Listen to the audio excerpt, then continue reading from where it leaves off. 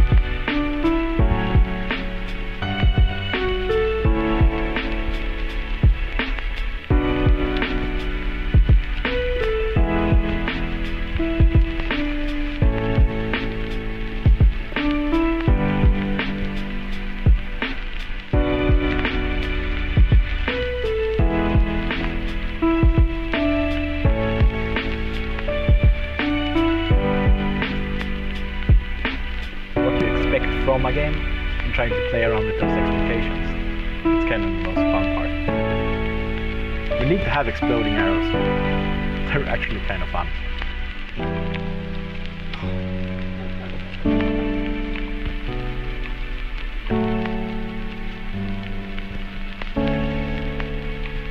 Let's give it a bigger explosion.